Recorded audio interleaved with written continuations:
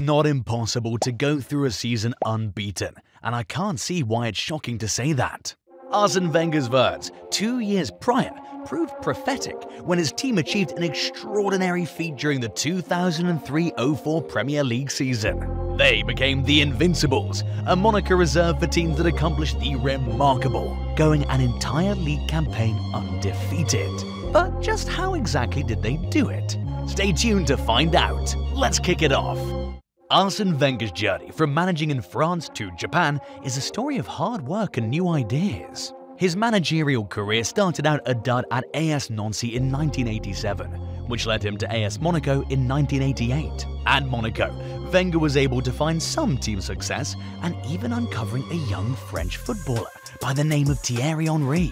After leaving Monaco in 1995, he moved to Japan to coach Nagoya Grampus 8, a team struggling in the J-League and owned by Toyota. His focus wasn't just on winning games right away, but on building a strong foundation. Wenger's short time in Japan changed both him and the team. He taught the players to focus on their skills, eat better, and make smart decisions during games. This approach helped the team win the Emperor's Cup and set the groundwork for what Wenger would later implement at Arsenal. Even though he wasn't in Japan for long, his influence was huge, winning him the J-League Manager of the Year award and mastering his coaching philosophies that he employed with his groundbreaking work at Arsenal. Arsene Wenger really changed the game at Arsenal and the way football was played in England. He had a knack for finding and developing young players. Stars like Kolo Touré and Nicolas Anelka became big names with Wenger's help. He was also great at finding hidden gems like Marc Overmars and Dennis Bergkamp, turning them into the heart of Arsenal's success. Wenger was smart about who he brought into the team. He picked up players like Jens Lehmann and Cesc Fabregas for relatively modest transfer fees and turned them into stars. Fabregas, grabbed at just 16, grew into a top midfielder thanks to Wenger's influence. The unbeaten team of the 2003-04 season, the Invincible showed off Wenger's strategy, smooth play, quick passes, and attacking together. This style not only kept them unbeaten for a season, but also made them the team everyone hated to love because of their enjoyable play. Wenger's move to field a team entirely of foreign players highlighted his focus on skill and a worldwide search for talent, setting a trend in the Premier League. During Arsenal's unbeatable season, their defense was a fortress, with stars like Lauren Kolo Touré, Sol Campbell, and Ashley Cole. These guys made sure almost nothing got past them. Lauren and Cole, playing as outside backs, were lightning fast, helping both in defense and in pushing the ball up for attacks. They made the team wider, opening up space that created more chances and offense. In the middle, Touré and Campbell were a dream team. Touré's quickness and Campbell's muscle stopped many attacks in their tracks, letting Arsenal keep a tight defense while still playing aggressively up the field. Their teamwork meant Arsenal could snatch the ball back quickly and go on the attack. Jens Lehmann, the goalie, was crucial too. He was like an extra defender, ready to rush out and stop the ball. Plus, he was great with his feet and used his passing ability to lead the attack from the back. He didn't miss a single game that season, always there to keep the goal safe. The way these defenders worked together with Lehmann was key to Arsenal's success. They were solid at the back, but also skilled at joining in on attacks, showing just how flexible and dynamic the team was. But what good is a top defense if you can't control possession? Arsenal had two midfield heroes, Gilberto Silva and Patrick Vieira, who showed just how important a strong midfield is in football. Silva, from Brazil, switched from defense to become a top defensive midfielder. His teamwork with Vieira, who was more of a box-to-box -box type of midfielder, was key to Arsenal not losing a game in the 2003-04 Premier League season. Silva was the linchpin of the midfield, sitting deeper and covering defensively, which allowed Vieira to roam and create dangerous opportunities without having to worry about defending as much. Their partnership was a perfect example of Arsene Wenger's plan for a midfield that could defend solidly and attack with ease. Together, they made the teams play flexible and smart, proving that being clever on the field and working hard can lead to great things. Silva's journey, from a simple start in Brazil to making impacts for his club and country, shows how sticking to discipline, pushing through tough times, and always thinking of the team can bring success. Arsenal's attack, led by Freddie Ljungberg, Robert Pires, Thierry Henry, and Dennis Bergkamp during their unbeatable season was truly spectacular,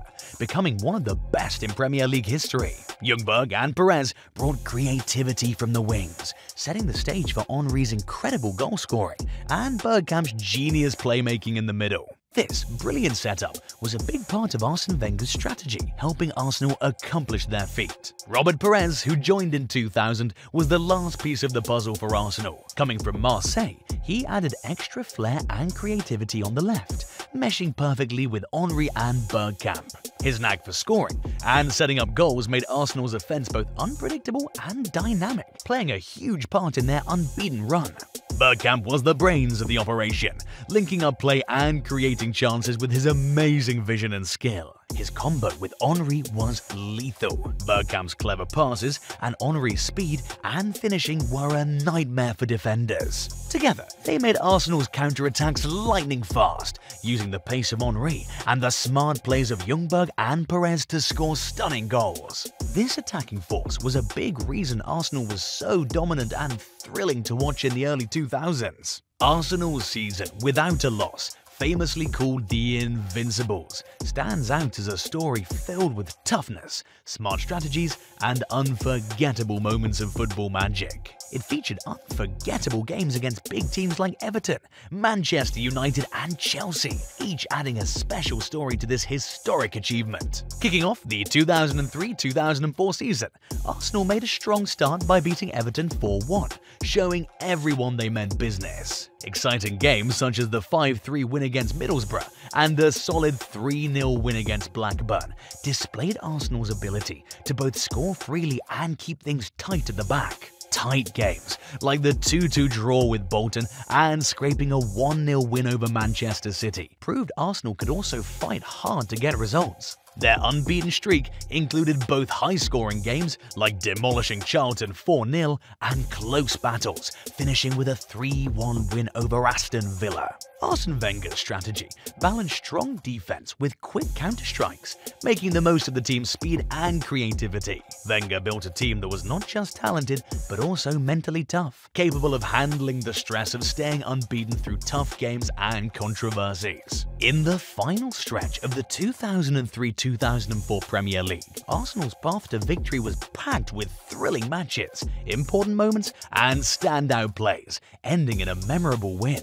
The battle for the top spot was intense, but under Arsene Wenger's clever management, Arsenal showed resilience and smart tactics. Their big matches against teams like Everton, Manchester United, and Chelsea highlighted Arsenal's strategic skills and ability to shine at crucial times, proving they were true champions. Thierry Henry was a key player in this season, amazing everyone with his goals and assists. His speed, skill, and intelligence made him a nightmare for defenders and a fan favorite. Henry didn't just score, he also set up his teammates, making him a legend in the league. Arsenal won the title in an unforgettable moment at Tottenham Hotspur's ground, White Hart Lane. On April 25, 2004, a draw with Spurs was enough to secure the Premier League win, making it extra special to win at their biggest rival's home. The 2-2 tie kept Arsenal unbeaten and confirmed their championship at Tottenham's place, marking a historic moment in football. The debate around Arsenal's invincibles and their standing among the Premier League's elite sparks considerable discussion. When placed alongside formidable teams such as Manchester United's treble winners, Mourinho's Chelsea, and the Centurion Manchester City squad, the Invincibles' unbeaten record distinguishes them. Yet, the conversation deepens when comparing metrics like points, goals, and defensive stats, adding layers to the debate. Detractors highlight moments of fortune, including debated penalties and squandered chances by adversaries, suggesting Arsenal sometimes chose the safety of a draw over the risk for additional victories to preserve their unbeaten status. This tactic, though successful for remaining undefeated, contrasts with teams that amassed more points or demonstrated greater season-long dominance despite losses. Further, the discourse extends to Premier League excellence's evolving criteria, with recent teams under Guardiola and Klopp redefining success metrics. This context broadens the narrative of footballing excellence, positioning the Invincibles' achievement as a significant yet singular chapter in the sport's history. Whether you believe Arsenal's Invincibles had the greatest Premier League season or not, their unbeaten legacy is undeniably remarkable. What's your take on it? Share your thoughts in the comments. And if you enjoyed this journey through football history, don't forget to like, subscribe, and share. Until next time, see ya on the pitch. Cheers.